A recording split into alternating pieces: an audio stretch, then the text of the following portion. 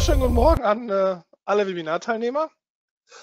Mein Name ist äh, Wolfgang Dendner und im Gegensatz zu dem Ablauf, den wir sonst haben, ähm, schiebe ich die Risikohinweise mal, bevor wir das Webinar starten, vor.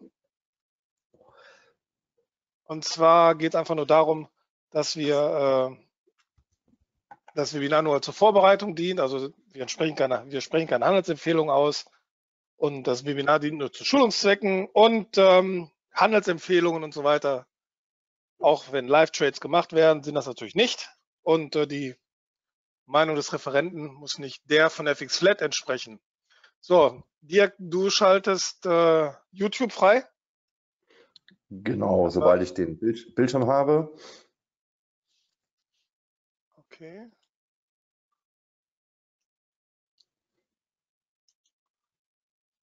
Okay.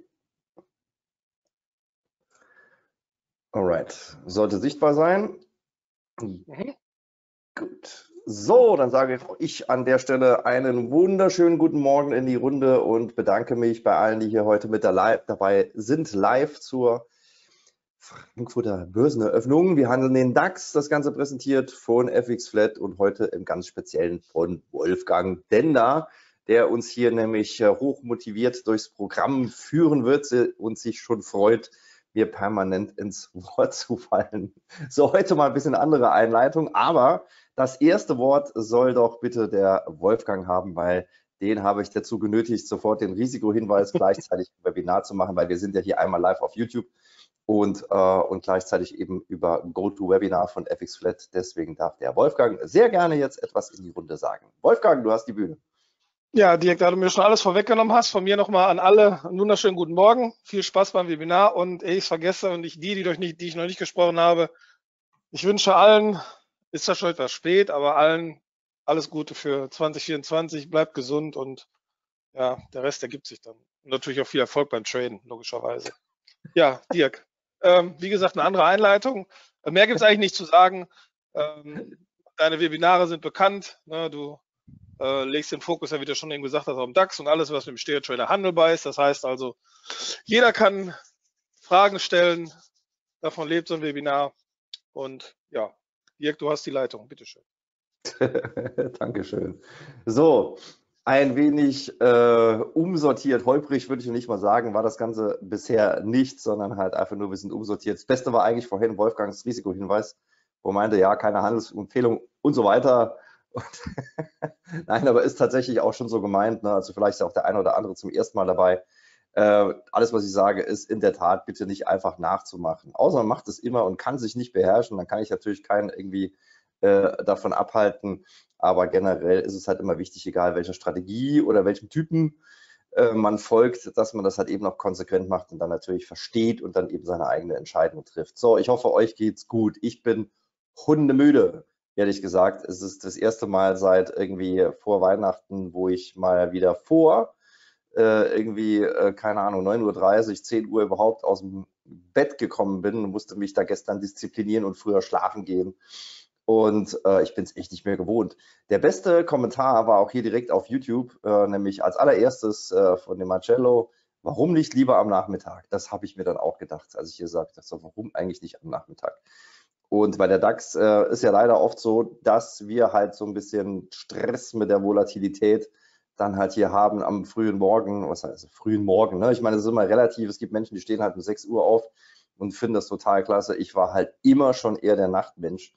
Und äh, von daher bin ich halt, habe ich auch keine Schmerzen damit, zum Beispiel irgendwie nachts um, um 11 Uhr live zu gehen oder um 12 oder sogar noch später und dann halt irgendwie äh, noch meinen Daytrading Guide auf YouTube zu machen. Ich bin da halt einfach wacher. Und morgens ist immer so, weiß ich nicht, ich habe auch mal so, äh, so das ganze Revue passieren lassen. Ich hatte ja auch irgendwie mal eine Zeit lang mit, mit Schlafstörungen ähm, ja, halt mal zu kämpfen. Und tatsächlich fing das eigentlich eher an wieder, als ich massiv mit der Börse mich wieder auseinandergesetzt habe, nämlich vor rund, wie lange ist das her? Zehn Jahren jetzt halt wieder. Äh, neun Jahre, zehn Jahre.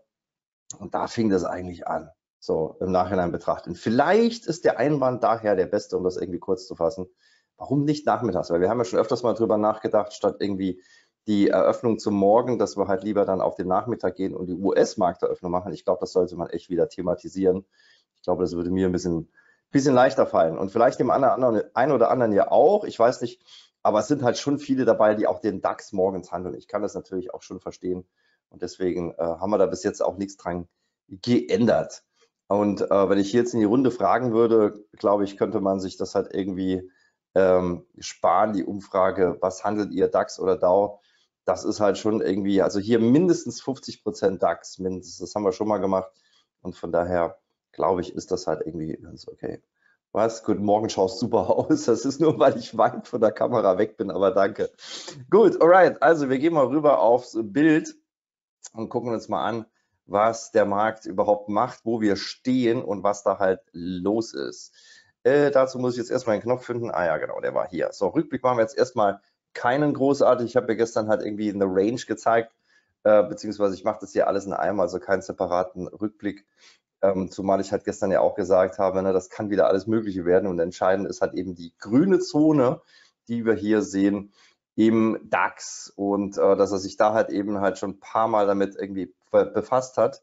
Also hier bei der 16.640, ne, weil das halt einfach hier die alten Supports gewesen sind oder die aber halt hier so ein bisschen ad absurdum geführt hat, wo ich halt meinte, das war hier letzte Woche, da meinte ich irgendwie ein vernünftiger Schlusskurs drüber und der Markt könnte long gehen. Und was hat er gemacht? Einen vernünftigen Schlusskurs drüber und dann aber halt eben doch wieder runtergezackert und dann halt nochmal ein paar Schlusskurs drunter und dann erst long gegangen. Also so ein bisschen äh, tricky der Markt. Und gestern habe ich eben gesagt, wir haben eigentlich genau genommen potenziell eine Range, eben kommend hier von unten von der 16.530 bis rauf auf die 780. Und wie man sieht, sieht der Markt das genauso. Er hat das jetzt nämlich hier irgendwie um 8 Uhr mal auf der Unterseite angetestet, nämlich genau unten an der Range. Und entweder läuft der Markt jetzt wirklich nochmal da oben hin oder wir kippen um 9 Uhr endlich mal eine Runde hier runter.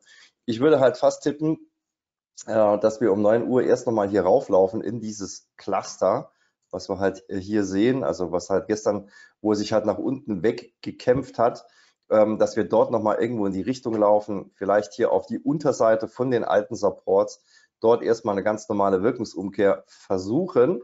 Das wäre zumindest halt recht plausibel, zumal auch hier der SMA 20 ähm, da oben in Hängen von, äh, in Hängen von da oben runterkommt. Das heißt also, dieser Bereich hier, das ist, wäre jetzt mein Fokus hier für die Eröffnung. Wie gesagt, hier Wirkungsumkehr, ne, weil alles, was vorher Support war, sollte ähm, dann halt eben zum Widerstand werden. Deswegen halte ich das so für das plausibelste hier erstmal. Das heißt, das wäre dann halt eben auch nicht blau, sondern halt als äh, Widerstand dann halt eben auch zu markieren. Das heißt, da sind wir irgendwo bei der 16.600 oder knapp davor. Dort würde ich, glaube ich, mal short eine Runde dagegen halten und dann mal gucken, ob man damit halt was anfangen kann. Mir würde schon reichen, eine Bewegung halt in dieser Form, also bis hier rauf. Long würde ich da jetzt nicht unbedingt gehen, sondern eher, wenn der Markt sich direkt darunter strauchelt, dann dort auch lieber nochmal short, als jetzt hier irgendwie long zu gehen. Weil ich halte das jetzt erstmal nur für den Versuch, die Range zu verteidigen, weil noch ist die Range, wie ich sie beschrieben habe, ja nicht wirklich äh, etabliert, sondern wir haben hier nur dieses alte Low an der Stelle und um das Ganze wirklich als Range zu identifizieren, müsste er nochmal ganz rauflaufen. Aber das war erstmal eine Vermutung, die ich auch gestern da angestellt habe und dass das halt eben funktioniert oder beziehungsweise als Range identifiziert werden könnte. Und die Vermutung bestätigt sich gerade so ein bisschen, aber halt eben noch nicht final. Klar kann man jetzt auch mal gucken, irgendwie wie 9 Uhr reagiert, wenn es direkt raufdrückt. Dann könnte man natürlich auch irgendwie 30, 40 Punkte mit äh, nach oben mitnehmen und dann da oben drehen. Das wäre natürlich dann so ein bisschen die im Daytrading halt die Königsklasse, also einmal rauf und dann gleich wieder runter. Das ist immer meistens so ein bisschen ja, Wunschdenken, was halt nicht so ohne weiteres handelbar ist. Deswegen mein Fokus erstmal da oben, wie jetzt gerade gezeigt, hier im H1 unter der 16.600 von mir aus auch dran, also 612 wäre hier so die Oberseite und äh, mehr sehe ich da momentan halt erstmal noch nicht. Guckt man sich das Ganze mal im kleineren Timeframe an, mal gucken, ob man da halt irgendwas sieht, aber vermutlich wird auch das, was man dann hier jetzt vielleicht erkennen kann, gleich, wenn ich da ein bisschen näher drauf gucke, auch nichts anderes äh, zeigen. Im Daily sieht man natürlich hier auch noch, mache ich ein bisschen größer oder gehe auch mal rüber auf das andere Bild nochmal. Ähm, hier erstmal der H1, den gebe ich auch mal frei jetzt im Live-Chart. Das können wir übrigens eigentlich nochmal einführen, fällt mir gerade auf. Äh, wir hatten früher immer mal irgendwie Live-Chart, also für alle, die dieses äh, Add-on haben, aber keine Lizenz bei den Webinaren. Das müsste ich echt mal nochmal machen, dass man halt das hier dann trotzdem nachvollziehen kann. Alles, was ich da halt markiere und zeichne, dann halt während äh, so einem Webinar dann halt eben auch selbst in seinem Chart hat. Aber ich gebe das jetzt erstmal frei, damit man es überhaupt mal drin hat, wenn man eben das Live-Chart drauf hat. Also Daily.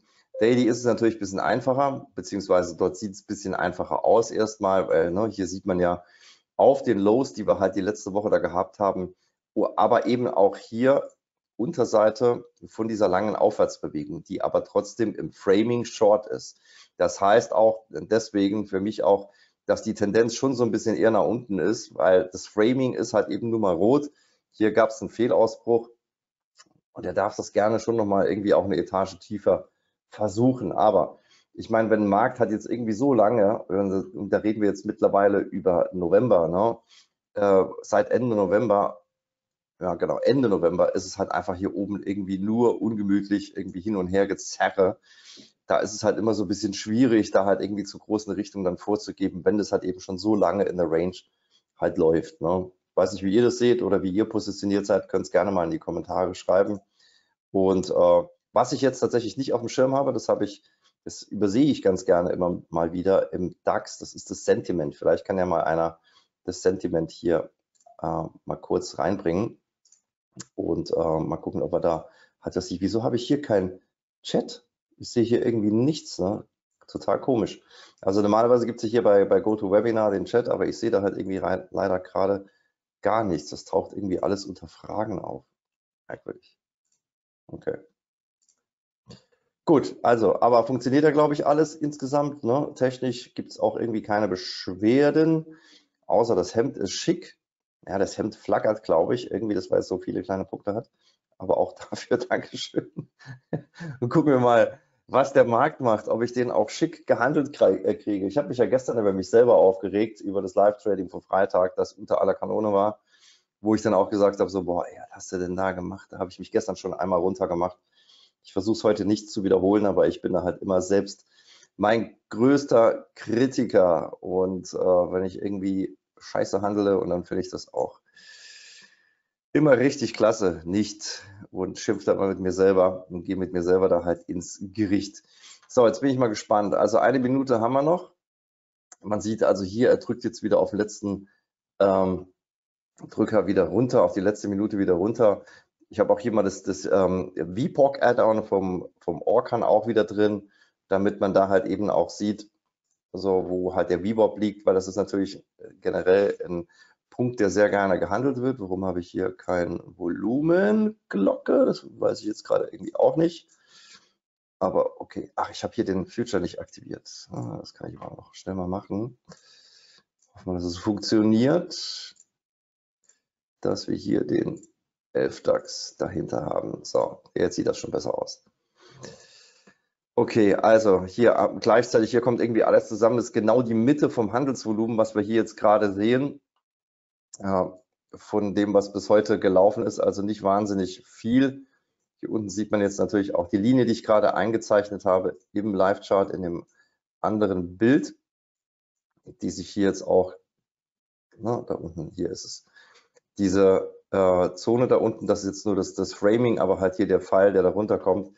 Ich bin auch mal gespannt. Ich hätte natürlich auch genauso Lust, irgendwie direkt hier auf den Short-Knopf zu drücken und mit darunter zu laufen und halt auch mal den Finger hier drauf und guck mir mal einfach die erste Zuckung an, weil das könnte genauso gut tatsächlich auch direkt mal eine Runde runterdrücken.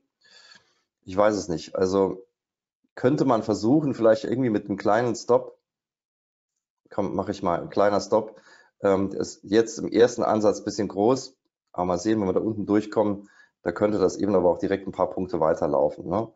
So, mal sehen. Also erstmal drückt es, ich schieße den, äh, schiebe den Knopf, äh, den, ein bisschen Sprachfehler, den Stop direkt ganz eng hinterher, weil ich nicht weiß, ob wir dort durchkommen oder nicht. Und äh, falls er jetzt zurückzuckt, dann sind es halt wenigstens ein paar Punkte dann im Topf. So, macht er nicht, sondern ich versuche mich jetzt hier auch einfach manuell dran zu hängen, 30 Punkte vorne und mal sehen, ob wir da runterkommen. Aber ne, das ist sowas ist halt auch immer so ein bisschen, finde ich, so ein, so ein Lucky Shot. Ne? Also das ist ja halt einfach ein Impuls, den er jetzt runterdrückt und deswegen bin ich da auch jetzt hier nicht irgendwie unterwegs und sage, ja, wir müssen jetzt darunter auf den Pivot oder das nächste, was ich da unten sehe, sondern nimm das halt einfach wirklich dann nur als, als Impuls, als erste Reaktion von der Eröffnung, die einfach der Tatsache geschuldet ist, dass ähm, wir hier mit einem massiven Downgap im Kassa reinkommen. Ne? Aber kann man schon mal machen, wie man ja gesehen hat, irgendwie, das waren ganz schnelle 22 Punkte hier in der ersten Minute. Finde ich jetzt erstmal okay. Und der kann jetzt natürlich auch noch weiter drücken und da kann man nachher wieder sagen, ja, jetzt da mal drin gelassen. Äh, nee, ne, echt nicht, weil auf der Unterseite Short ist, ist oft irgendwie teuer. Ne? Und deswegen bin ich da auch jetzt raus und bin da auch erstmal völlig fein damit. Und ähm, aber sowas kann man schon mal machen. Das kann man natürlich dann auch ein bisschen größer machen von der Positionsgröße. Aber gut, ich glaube, zu dem, zu dem Trade muss man jetzt erstmal nicht viel sagen. 22 Punkte in einer Minute, das ist wirklich, glaube ich, mehr als okay. Gut, wer war dabei? Wer hatte die gleiche Idee? Muss ich jetzt hier fragen. Kommt, haut rein die Tasten. Jupp, da kommen die ersten. Okay. Ja, das kann man, wie gesagt, schon mal machen. Ne? Jetzt ist aber halt dann die Frage, weil wir kommen jetzt hier im Daily, da gehe ich jetzt nochmal rüber auf das Bild hier. Wir laufen jetzt nach unten natürlich in die letzten Supports da rein. Da wäre es halt nur legitim, ja, wenn der Markt dann halt auch mal nach, äh, äh, noch mal nach oben reagiert. Das heißt aber nicht, dass das muss. So, aber generell ist das jetzt mit so die, die Knautschzone, ähm, was das halt äh, jetzt hier in diesem Bereich weil er kann jetzt einfach hier, und das, das hat man einfach auch schon oft gesehen, so, da ist schon hier M-Foto Franco dabei, in GoToWebinar sehe ich irgendwie komischerweise, warum auch immer, keinerlei Chat-Kommentare. Ich weiß nicht wieso. Aber bei, äh, bei YouTube auf jeden Fall kommt hier ein bisschen was. Der Richie, sehr schön. Gut, Sentiment, also ja genau, danke nochmal, danke an den Matthias für Sentiment, steht bei plus 0,5, also relativ neutral. Gut, da bin ich mal gespannt, ob wir da gleich, also Matthias, du kannst es gerne, ähm, wenn das okay ist, mal hier nochmal updaten, dann auch im Chat und wie sich das entwickelt. Und ich habe da vollstes Vertrauen in deine Aussage. Also wir reden über das Euwax-Sentiment, ne? also das Derivate-Sentiment in Stuttgart. Ja, weil das ja immer so die, die, das ist, was halt eben die ähm, privaten Händler da halt in der Mehrheit handeln. So, er drückt noch. Bin ich wirklich mal gespannt. Kann natürlich sein, dass es weiter durchrutscht. Dann kann man noch mal versuchen, äh, da halt auch noch mal irgendwo reinzukommen. Ne, ist jetzt halt hier mal, mal eben doppelt so weit, als, ähm, als ich aufgelöst habe. Mal gucken. Kann natürlich auch sein, dass wir jetzt einfach durchfallen. Aber nochmal, ne, das, das ist so, so ein Trade. Ähm, dem muss man nicht hinterher weinen, ne? weil das, das, hat man eigentlich super äh, selten, dass der weit kommt, ja, weil oft ist es eben so, äh, für den, der was jetzt ein bisschen schnell ging, also der, der Grund für den Short war für mich jetzt, ähm, kam jetzt hier runter, also hier ein kleiner Ausbruchsversuch über die letzten Hochs hier in der 8 Uhr Bewegung, wo natürlich das Volumen nicht so dick ist, wie das um ähm, 9 Uhr der Fall ist. Ähm, also hier mit einem Ausbruch auf der Oberseite, konzentriert sich aber dann hier auf den Point, um, äh, Point of Control. Boah, ich habe echt ein bisschen Sprachfehler heute. Wir sind hier on top mit einem kleinen Downgap da rein gestartet im Future-Markt und äh, was ja auch nicht unbedingt ein Long-Signal ist und dann halt eben mit einem großen Downgap äh, hier im Kassamarkt. Ne? Also gegenüber dem Schlusskurs von gestern war das hier natürlich schon ein recht heftiges Gap. Das sollten wir da oben irgendwo sehen. Wo haben wir es? Hier, ne? etwa bei 16.630. Das ist natürlich schon eine Hausnummer, wenn der Markt äh, dann halt eben bei 535, äh, 538, 541 sind es genau, hier startet, also fast 100 Punkte Downgap. Das ist im, im DAX natürlich schon eine Ansage. Und ähm, das ist halt auch ein Grund, also beziehungsweise das ist so ein typisches Impulsverhalten, was man dann halt sieht, klar, weil dann hängen dann natürlich dann einige, einige Aktien eben auch dahinter, ähm, wo dann halt erstmal der Stop getriggert wird.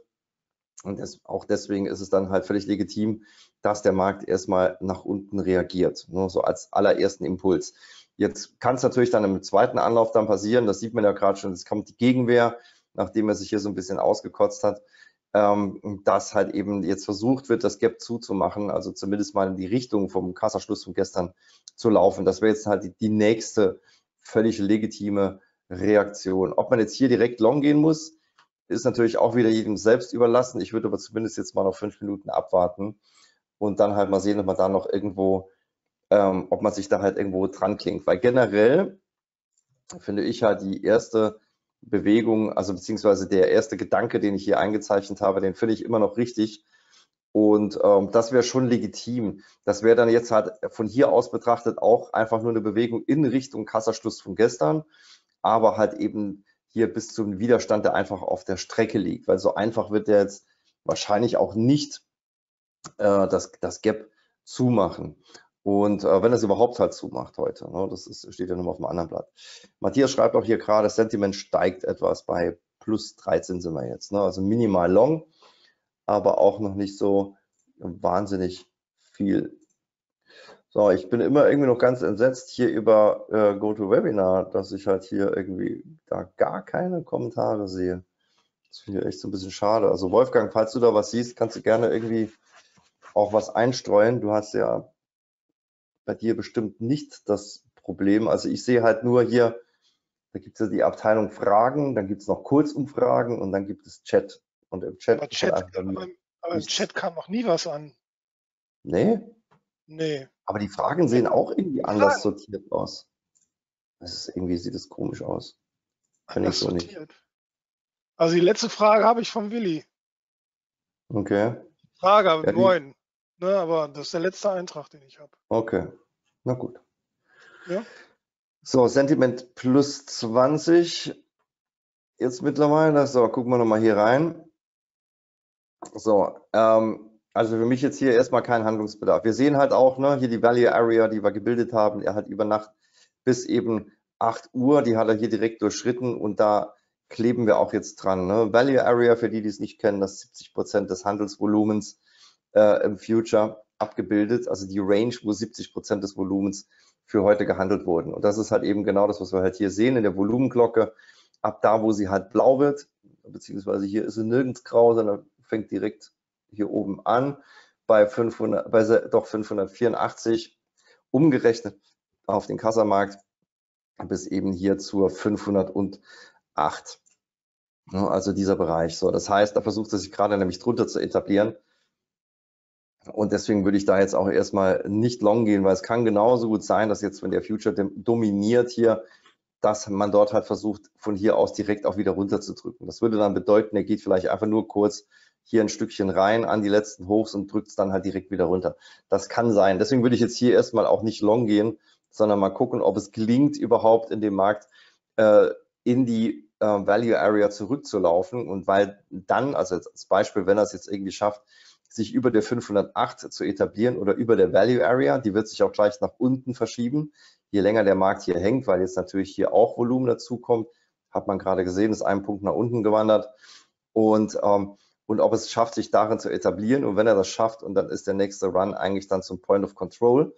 Der wäre dann hier oben, dort ist dann halt das meiste Volumen bisher für heute gelaufen, 546.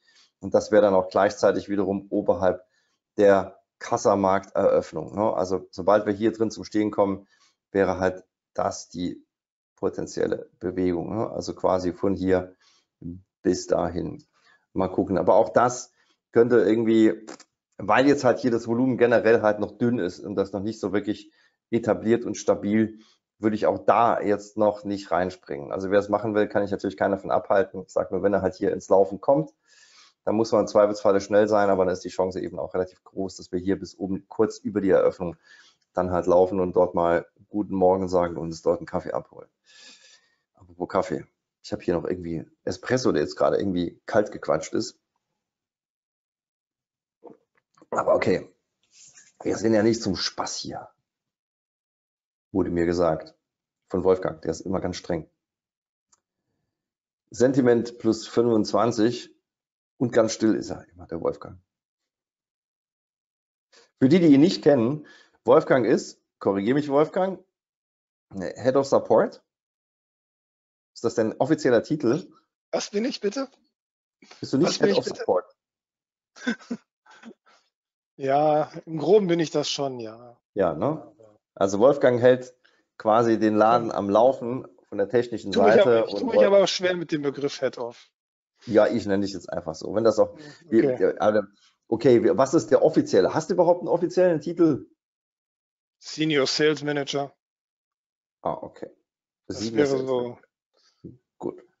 Aber gut, dann, dann formuliere ich es andersrum. Der Wolfgang ist auf jeden Fall der, der dann auch den Support zusammenhält und der dann auch in höchstem Maße dafür verantwortlich zeigt, dass das bei FX Flat so ganz wunderbar über die Jahre alles läuft und dass man dort einfach euch immer wieder extrem kompetent helfen kann, vor allen Dingen, wenn es halt eben auch um den Stair Trader geht. Und da kann ich FX Flat tatsächlich nicht genug loben. Ich hebe das immer gerne heraus, weil die halt einfach, der Wolfgang und seine Kollegen da halt einfach echt einen extrem guten Job machen und das verdient auch immer wieder sein Lob. Also das ist das, was der Wolfgang halt eigentlich macht und äh, springt jetzt hier gerade für den Nelson ein. Und er liebt Schokolade, steht da. Was? Wer? Der DAX oder der Wolfgang? Und der liebt Schokolade. ja, das kriegen wir jetzt noch raus. Wo kann man das Sentiment denn Ja, einsehen? Stimmt. Stimmt. Ja, okay, ne? warum nicht? Ne? Schokolade und Cola. Ich habe ich hab den Jungs mal, ähm, ich, bringe euch einen Kasten Bier vorbei, weil ihr mir immer jeden Tag, äh, dass es den, den Allerwertesten rettet, drücken wir es hier mal ein bisschen, ein bisschen äh, höflicher aus.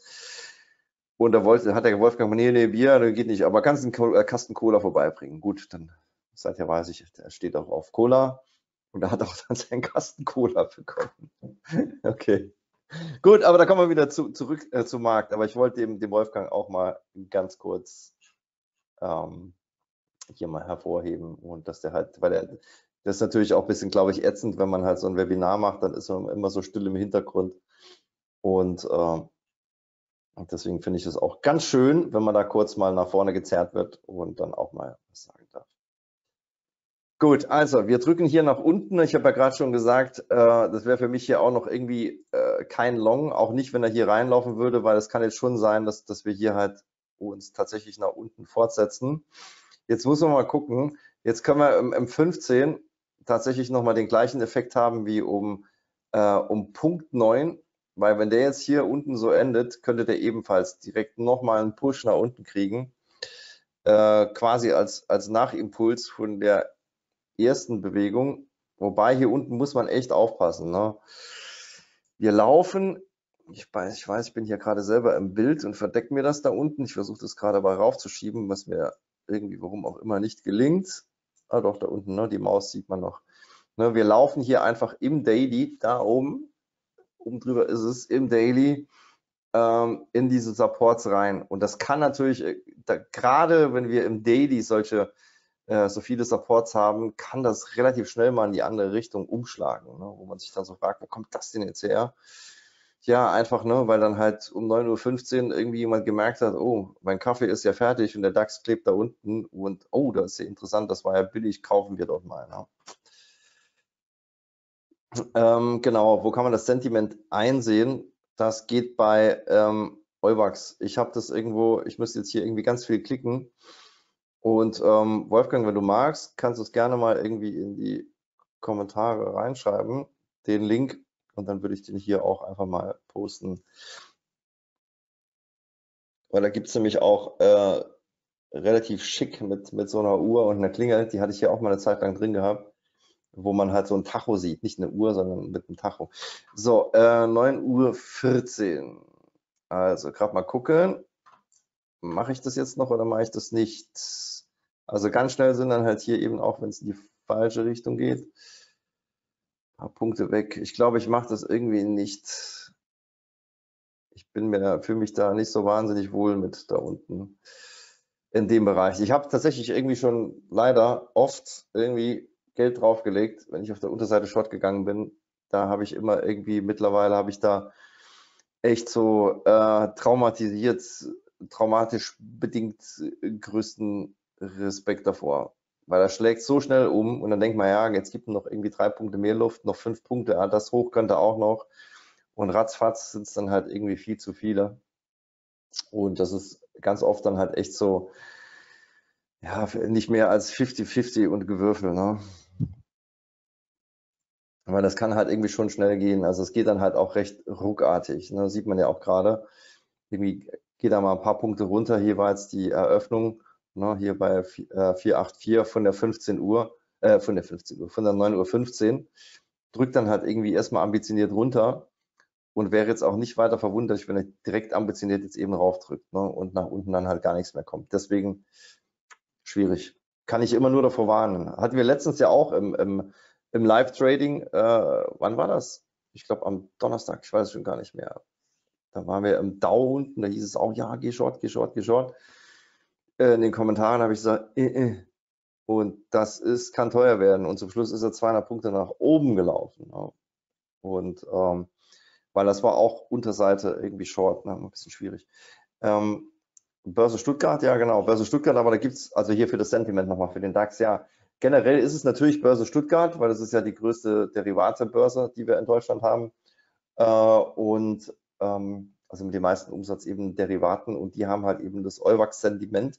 Sentiment, das ist ein Ding von der Börse Stuttgart, wo die halt eben dann auch den DAX abbilden, beziehungsweise die DAX-Derivate zusammenfassen und dort dann halt eben abbilden, wie äh, quasi das Dump Money positioniert ist in Derivaten auf den DAX bezogen.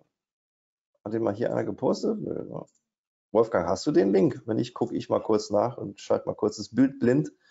Und dann stelle ich den Ich habe den Link, ich schicke schick den gleich, ich habe den Link. Okay. Der Michael, war, der Michael war so freundlich, uns den zur Verfügung zu stellen. Ich schicke den gleich. Okay.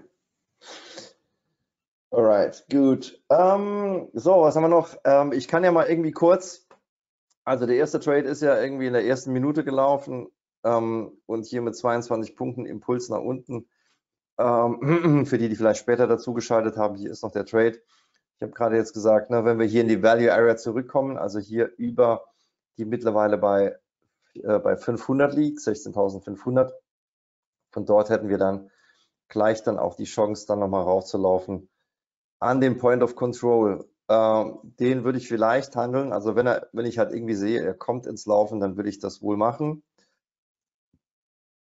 Aber es muss sich schon irgendwie vernünftig darstellen, so dass ich halt auch ein gutes Gefühl habe dabei. Ne? Jetzt, jetzt, haben wir hier genau das, was ich vorhin meinte. Ne? Auf der Unterseite irgendwie so ein kurzer Impuls und dann kann es sein, dass halt eben nichts mehr nach unten kommt, sondern der Markt erstmal nach oben reagiert. Das ist jetzt halt einfach äh, dem Daily geschuldet. Ne? Ähm, ich finde es trotzdem noch nicht so ganz klar und einladend, mich jetzt hier long da dran zu hängen. Und ne, weil er hängt hier einfach jetzt erstmal nur an der Value Area auf der Unterseite. Mehr ist jetzt noch nicht passiert. Da muss er jetzt irgendwie schon halt mit bisschen Bums da durchgehen. Und dann würde ich am liebsten hier auch irgendwo eine dickere Order gerne sehen, die das Ganze dann auch untermauert so dass man sagen kann, okay, ich hänge mich da jetzt mal mit dran, bevor ich da halt long dabei bin. Ne? Weil jetzt nur auf Verdacht hin, auf Vermutung, so ein bisschen schwierig. Ne? Da fehlt mir halt irgendwie noch so. Aber man muss ja halt, ne, das ist ja auch das andere. Ich habe ja ganz am Anfang auch schon gesagt, ne, ähm, da war es zwar umgekehrt, habe ich gesagt, ja, erst Long handeln und dann Short. Hm, das ist natürlich auch immer so ein bisschen, äh, ja, übertrieben ist vielleicht das falsche Wort, aber vielleicht zu viel verlangt von dem, was man da halt irgendwie machen kann. Ähm, weil es halt einfach ist so ein bisschen ne, so, ich nach dem Motto, ich nehme alle Richtungen mit, egal ob rauf oder runter. Das ist halt auch ein bisschen vermessen. Und die Gefahr haben wir hier natürlich ganz genauso. Ne? Ich habe jetzt irgendwie den Runterimpuls mitgehabt. Ich muss jetzt nicht unbedingt den Raufimpuls auch noch irgendwie total klasse erwischen und mir da einbilden, dass ich da halt richtig liege, nur weil der erste richtig lag. Ich werde halt wirklich eher fast ein Fan davon, also wenn es sich irgendwie klar darstellt und der halt hier irgendwie in kleinen Schritten, aber vehement ohne Korrektur nach oben drückt, okay, haben wir momentan aber nicht. Und ansonsten wäre ich, glaube ich, eher ein Fan davon zu sagen, na gut, ich gehe nochmal irgendwie auf Anfang zurück, weil da wollte ich ja rauf auf die 600 oder in Richtung 16.600 und ab dort eigentlich shorten. Das heißt, ich würde mir jetzt, glaube ich, lieber gerne angucken, ob der Markt äh, wenn er versucht, sich da oben rauszudrücken dann dort halt dagegen zu halten. Ich glaube, da fühle ich mich irgendwie besser damit. Da habe ich ein besseres Fingerspitzengespür, da glaube ich, dafür. Alright, so, wir machen jetzt mal ganz kurz was anderes. Also ein paar Punkte sind ja im Kasten. Vielleicht ergibt sich gleich nochmal was. Ich würde dann mal kurz die Märkte äh, mal kurz besprechen, dann mal gucken, was wir da heute halt noch, ähm, was uns da heute möglicherweise noch erwartet, sowohl im DAO als auch im DAX, aber vielleicht auch im Bitcoin. Nochmal ganz kurz. Weil das ja in letzter Zeit auch immer wieder ein Thema ist. Und vielleicht auch Gold. Genau, das haben wir gestern, wurde ja auch nochmal da halt gefragt, was ist eigentlich mit Gold? Da habe ich gestern auch noch mal ein bisschen was dazu erzählt. Also DAX habe ich ja vorhin hier schon gemacht, ne, um die kurzfristige Betrachtung generell. Ähm, hier diese Bewegung, mögliche Bewegung in Richtung 16.612. Ab dort dann halt eben dann Gegenwehr nach unten halte ich immer noch so für recht plausibel, äh, dass das halt in irgendeiner Form kommt. Vorausgesetzt, der DAX schafft es natürlich jetzt sich hier unten irgendwo abzudrücken. Das halt eh klar. Und wenn nicht, dann muss man das Bild halt nochmal neu sortieren. Weil genauso, ne, wenn jetzt halt hier dieses Low verkauft wird, was wir halt hier sehen, bei dem alten ATH, bei der 16.530, wenn das jetzt deutlich verkauft wird, und äh, dann wird natürlich der Markt nachher umgekehrt versuchen, sich dort abzustützen. Mal ange angenommen, also umgekehrt abzudrücken, besser gesagt, von der Decke. Weil also umgekehrt, sollte der Markt jetzt irgendwie halt hier nach unten laufen, ja, und äh, dort irgendwie schließen, dann werden wir halt eine Wirkungsumkehr auf, äh, dann halt hier sehen. Habe ich jetzt einen Pfeil gemalt? Eine Linie gemalt. Da werden wir dort halt eine Wirkungsumkehr sehen, die sich dann halt eben dann halt zum Beispiel so dann wiederum darstellen können. Das heißt, dann würden wir von dort wieder zurücklaufen und dann halt eben uns dort abstoßen, eben weil das halt das alte Tief ist. Das heißt, momentan finde ich noch so ein bisschen äh, unsortiert, sollte man mal erstmal abwarten, wie der Markt äh, sich da halt einfändelt. Sentiment kommt hier gerade, schreibt der Thorsten, plus 36. Ne? Das heißt also, die, die äh, äh, Bullen, die Käufer versammeln sich hier nochmal, also wie gesagt, die Privaten. Ne? Und das ist meistens kein Indiz dafür, dass der Markt großartig weit nach oben läuft, vielleicht mal ein paar Punkte, aber dann in der Regel halt nicht weit kommt. Was aber hier macht, das sehe ich halt, ohne dass ich hier drauf gucke, dass ich in die Value Area äh, nochmal versucht. Ne? Da sind wir jetzt. Und in dieser Bewegung, die ich da gerade gezeichnet habe, also wer mag, darf es natürlich gerne versuchen. Äh, logischste Anlaufstelle wäre ganz klar halt hier die 545 am Point of Control, knapp über der Eröffnung. Sobald halt dieses letzte High äh, bei der 615 halt raus, äh, 515 rausgenommen ist. Ne? Also hier 545 könnten halt, könnten, ja, aber ich halte es halt auch für ein bisschen risky. Auch mit dem Sentiment in Verbindung mit plus 36 ist nicht unbedingt ein Indiz dafür, dass Long wahnsinnig gut funktioniert. Wäre ich eher vorsichtig. Aber nochmal hier kurz zurück. Also sollte der Markt sich hier auf der Unterseite irgendwie etablieren können und dort dann auch die Lows rausnehmen.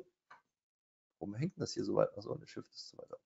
Äh, und dort auch die Lows rausnehmen, also diese sind damit gemeint, dann wird er sich da versuchen, da unten zu etablieren und dann höchstwahrscheinlich sich hier von unten abstützen, abstoßen. Ja, das heißt, dann müssen wir gar nicht nochmal darauf, weil dann ist auch diese potenzielle Range, die ich da gestern eingezeichnet habe, wo jetzt zwar erstmal unten reagiert hat, wo ich aber vorhin auch noch gesagt habe, dass, der muss er sich erstmal ähm, beweisen oder behaupten, diese Range muss ich behaupten, das muss ich erstmal dahingehend dann zeigen, dass halt eben der Markt sich hier unten drin hält. Und dann haben wir halt eben auch die Chance, nochmal raufzulaufen.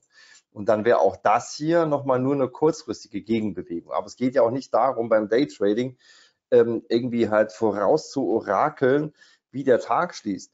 Beim Daytrading geht es ja immer nur darum, herauszufinden, wo sind die Punkte, an denen ich mich, wo ich mich dran klemmen kann und dann halt zum Beispiel irgendwie 20, 30, 40 Punkte halt relativ safe rausschneiden kann, ohne großartiges Risiko.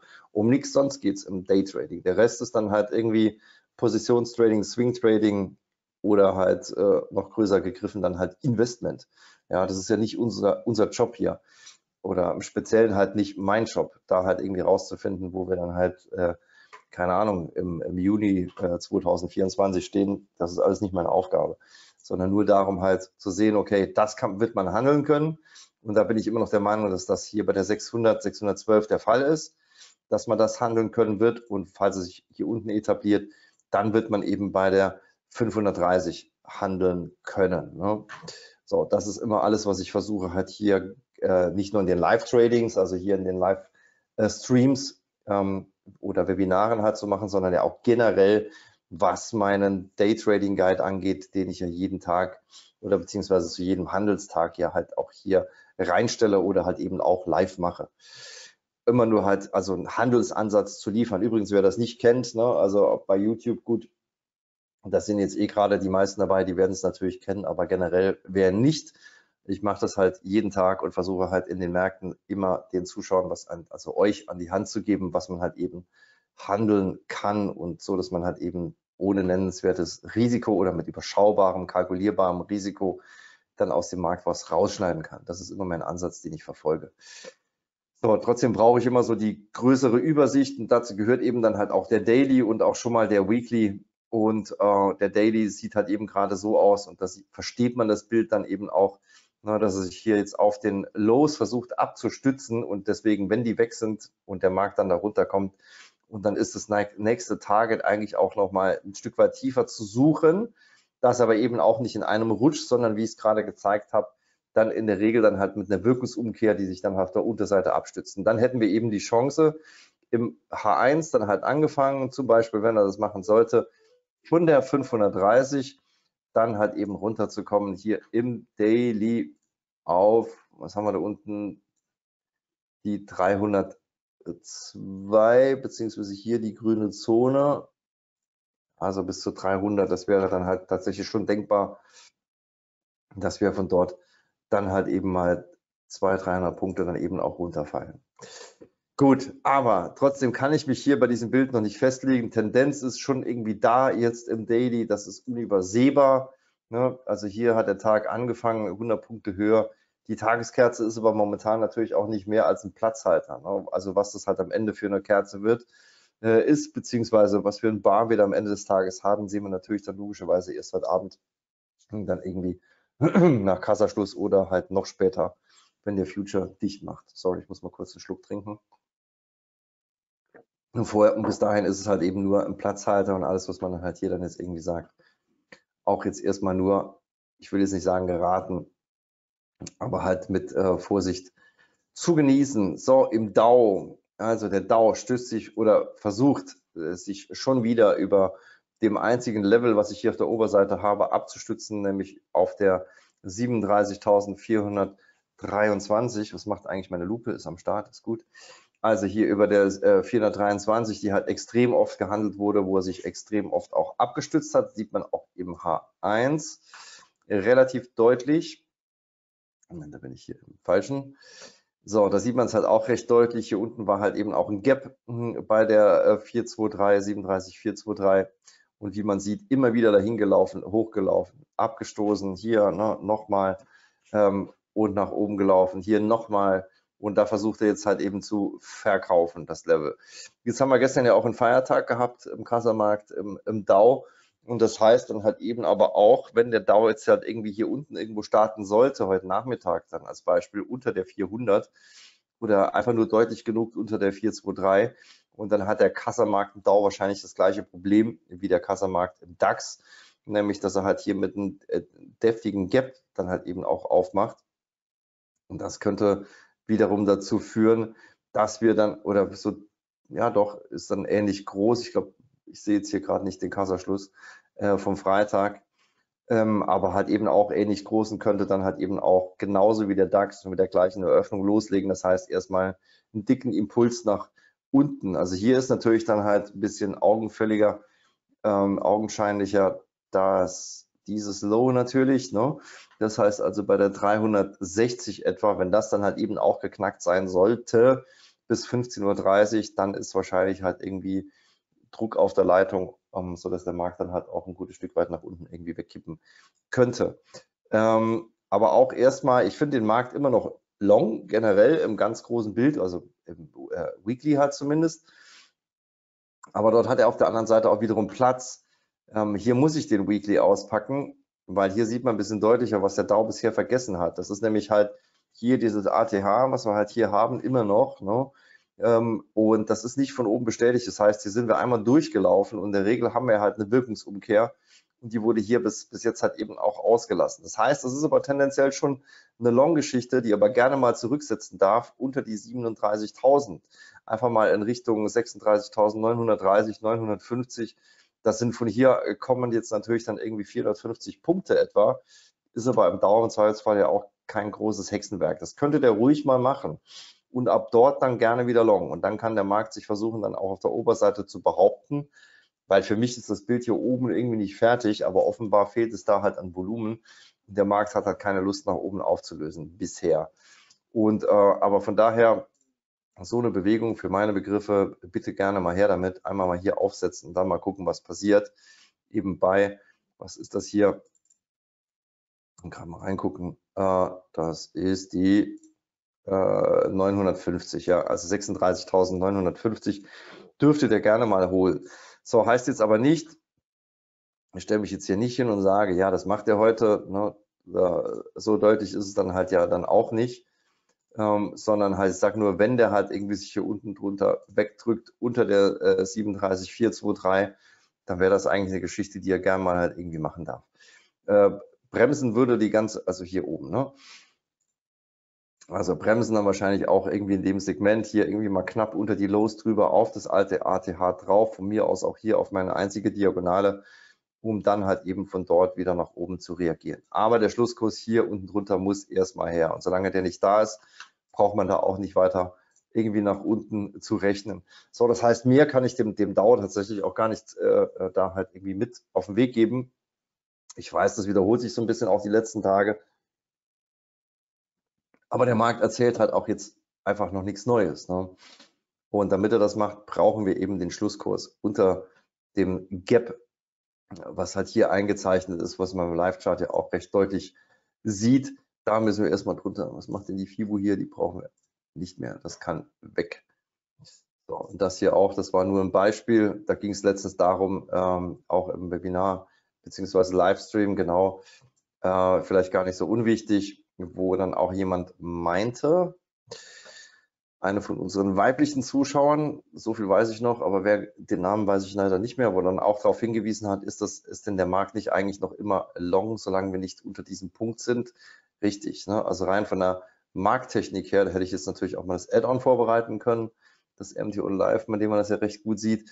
Also hier bei dem Level 37.560, das ist natürlich dann halt so der, der Trigger, um den Markt dann halt eben auch markttechnisch in einen Short-Trend äh, zu verwandeln. Das heißt, hier müssten wir eigentlich erstmal drunter stoßen. Deswegen hier diese Linie, damit man halt versteht, was damit gemeint ist. Also dieses Level gehört erstmal unterboten. Dann sind wir halt erst auch mal äh, noch nicht sauber in einem H1, äh, in einem Short-Trend im H1 drin, aber zumindest haben wir dann eine Tendenz, dass es einer werden könnte. Zumindest ist der Long-Trend dann halt erstmal offiziell kaputt. Und von daher ist das nicht ganz unrelevant, äh, dass wir mal da unten reinlaufen. Jetzt überlege ich gerade, ist unrelevant und irrelevant. Gibt es unrelevant überhaupt oder gibt es nur irrelevant? Ist nicht ganz, ich würde schon sagen unrelevant, oder? Bin mir nicht sicher. Also hier dürfen dann gerne mal irgendwie die Grammatik-Fetischisten sich kurz austoben. Ich bin, bin gerade echt, ja, egal. Nee, egal nicht. Ich will, ich will sowas immer wissen. So, ich bin ja halt irgendwie da schon immer sehr sprachinteressiert und mich interessiert da schon immer, ob irgendwie halt oder wo, Wort, äh, wo ähm, Wortschöpfungen herkommen, Ursprünge liegen und vor allen Dingen natürlich auch, wie man es grammatikalisch richtig macht. Also gibt es unrelevant? Kannst mal hier rein. Bringt mir mal ein bisschen Deutsch bei mir. Bin ja auch ursprünglich gar kein Deutscher, wissen ja viele gar nicht. Schmeiße ich jetzt einfach mal so in den Raum. Äh, okay. Dann haben wir hier noch Gold. Was macht denn Gold? Da habe ich ja gestern gesagt, ja, die Tendenz ist eigentlich schon eher so ein bisschen eher wieder long, ne? Ähm, weil man da auch wieder drauf hingewiesen hat. Und ähm, aber hängt halt eben hier immer noch am Gap. Ne? Also das war halt hier auch mein, wo ich auch gestern nochmal gesagt habe, ja, so, wenn das Gap irgendwie gekauft wird, da oben oh, über der 2060, da wäre ich da schon nochmal ein, ein, ein, ein Freund davon, dann nochmal Long aufzumachen und dann halt eben hier in Richtung ATA zu handeln. Und ich glaube irrelevant. Ist aber auch unrelevant, ob es irrelevant oder unrelevant heißt. Im Duden irrelevant. Ja, irrelevant, ich meine, dass irrelevant richtig ist, ist schon klar. Ich frage mich noch, ob das nicht ein Unterschied ist. Unrelevant und irrelevant. Ich meine, klar, von der Präposition herkommend, ne? Ist natürlich irrelevant, nur richtig. Okay. Welcher Nation entspannst, äh, entspannst du, entstammst du? Mit wem haben wir es jetzt zu tun? Ich bin äh, äh, äh muss ich gerade mal überlegen, wie man das richtig ausdrücken würde. Also ich komme auf jeden Fall aus dem Teil aus Deutschland, der nicht immer Deutschland gewesen ist, der auch schon öfters mal Frankreich war. Und da hat man so seine Probleme mit der deutschen Sprache. Das ist wirklich so. Da gibt es zum Beispiel kein Präteritum in diesem Bundesland. Weiß bestimmt der eine oder andere. Aber klar, ich bin natürlich dann halt so gesehen, klar, Deutscher, aber halt ne, mit irgendwie auch so mit bisschen anderen Einflüssen, die sich auch kulinarisch auswirken. Aber gut, lass du das jetzt mal erstmal kurz, aber auch vielleicht ja auch ganz, ganz witzig. Also, äh, äh, der Elsass, ja, ist schon gar nicht so falsch. Ähm, also Gold, ne, solange wir hier eben nicht über das Gap raus sind, ne, immer noch Finger weg. Aber sobald äh, das halt eben aber auch gekauft ist, dann halt hier da wäre ich halt nochmal ein Freund, dann irgendwie long einzusteigen. Das wäre halt die 2060 etwa. Ne? Also eben ab diesem Bereich. Da wäre ich nochmal halt irgendwie gerne dann auch long mit dabei. Ähm, hier wird geraten, Ostfriese, nein. Was? Hartmanns Weilerkopf.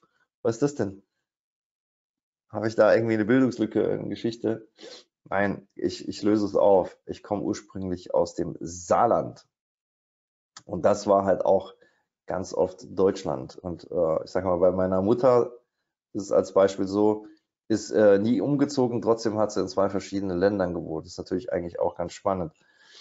Und äh, weil das Saarland war ja öfters mal Französisch, aber ist tatsächlich so, ne? von der Sprache her, man spricht dort kein, also Hochdeutsch sowieso nicht, äh, und mittlerweile, ja klar, ist halt alles so ein bisschen anders, ne? Aber ähm, das ist halt wirklich, das, das, ist auch jetzt nicht einfach nur so ein, ein einfacher Dialekt, sondern es ist wirklich so krass, dass man halt wirklich kein Deutsch kann. Das kann man anders nicht sagen. Also wenn man dort irgendwie vor allen Dingen in einer ländlicher Gegend aufgewachsen ist, kann man kein Deutsch. Ja, man kennt es irgendwie zwar aus den Büchern, aus der Grundschule, aber halt äh, weder, also die Aussprache ist das eine Thema, aber tatsächlich wirklich Grammatik, das ist halt, das ist, ist kein Deutsch, ja. Und äh, von daher äh, gar nicht so einfach. Also ich musste dann irgendwie auch äh, mir irgendwann Deutsch aneignen, nachdem ich irgendwie halt einen Einlauf kassiert habe von meinem damaligen Chef. Da war ich irgendwie äh, so um die 20 äh, war tatsächlich, er war damals auch in, äh, es war ein, ein, Finanzmakler und da musste ich einen Vortrag halten, irgendwie über zwei Stunden. Ich, werde ich nie vergessen, aber das ist wirklich nur so eine kleine Anekdote. Ich, dann komme ich gleich nochmal äh, zum Markt zurück, aber die muss ich jetzt mal kurz erzählen.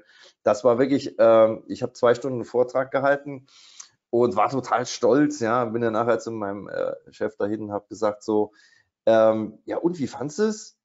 Und da meint er so, entweder schwätze wieder der Schnabel gewasses oder lernst Deutsch. Also äh, übersetzt, entweder du redest so, äh, wie dir der Schnabel äh, gewachsen ist, oder du lernst richtiges Deutsch. Und ich war völlig entsetzt. Dann ich dachte so, hä, ich habe doch Hochdeutsch geredet die ganze Zeit. Ne? Dachte ich dann auch tatsächlich und ähm, habe mich dann halt wirklich dann, äh, also mega, ein, der, der war wirklich mega sauer. Ne? Das klang zwar lustig, aber der war einfach nur stinkesauer. Ne? Und dann habe ich mich wirklich hingesetzt und habe mich damals äh, auf Kassette aufgenommen und habe mir das angehört und war völlig entsetzt äh, darüber, wie mein Deutsch klingt im Vergleich zu irgendwelchen Moderatoren halt im Radio oder keine Ahnung. Ne? Das ist halt irgendwie, das war schon ein bisschen arg. Aber ne, das, und da musste ich erstmal feststellen, ich habe wirklich auch in der Schule immer gedacht, äh, Präteritum, also ich saß, ging äh, und so weiter und so fort gibt es nur in Büchern, ja, habe ich wirklich gedacht und war davon völlig überzeugt und äh, musste dann irgendwie später lernen, das ist ja gar nicht so. Das ist ja, das, es gibt wirklich Menschen, die sprechen das. Ne?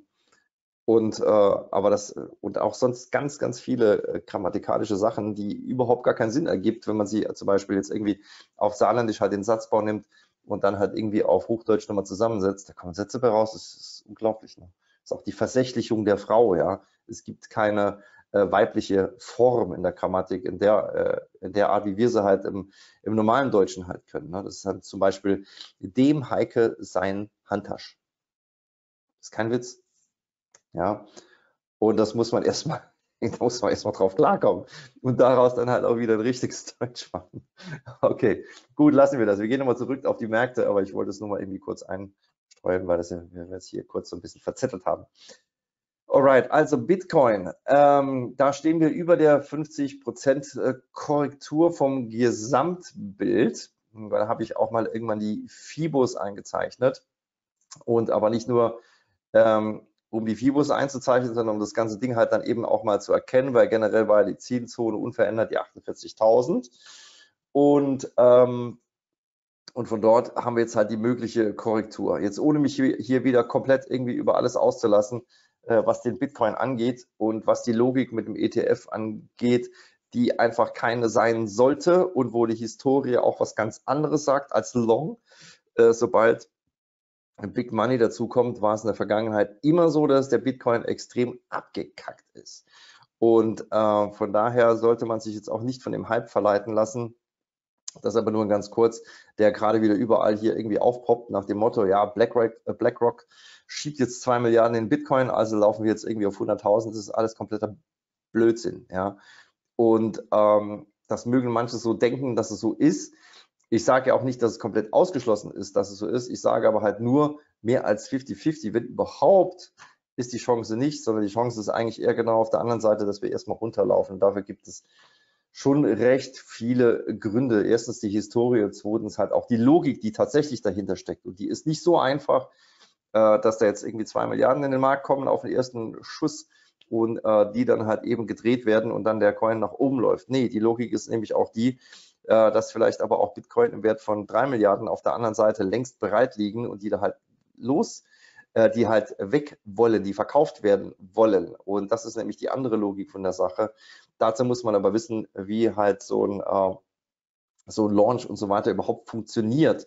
Und man kann nicht einfach irgendwie tatsächlich ernsthaft glauben, ähm, dass halt jetzt, wo der Bitcoin dann released ist, dass dann jetzt BlackRock ähm, hingeht und sagt, ja gut, dann drücken wir heute mal auf den Knopf, wo die grüne 2 äh, mit den, äh, wie viele Nullen hat das Ding? Äh, 12 Nullen, Quatsch, nee, 9 Nullen halt hat, äh, da halt irgendwie äh, draufsteht und wir drücken dann drauf und ballern den Markt nach oben, weil wir es nicht besser können und na gut, dass alle anderen reich werden und wir nicht, nehmen wir da mal so hin, das ist das, das ist ein Gedanke, der mir überhaupt nicht in den Kopf will, wie überhaupt auf sowas kommen kann, ja, der halt total absurd ist.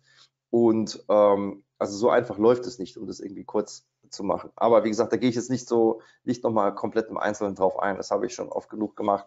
Das heißt also, im Bitcoin, ich bin ja auch immer noch long drin, wird, äh, will aber versuchen, hier irgendwo rauszukommen. Ich habe ein bisschen spät reagiert. Für mich ist da entscheidend unverändert die äh, 43.483. Also ich bin long seit 28.000, ne? also ich liege ganz gut vorne.